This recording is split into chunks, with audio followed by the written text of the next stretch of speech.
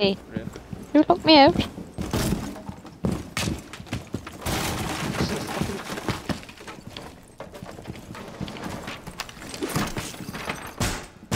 Wow, Jim. wow. Oh! oh no!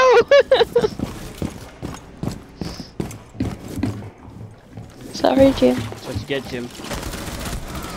Fristy, you got so lucky that you one bombed me just as I got by the reinforced wall. That was a great TK. I'm not gonna lie, I am proud of that one.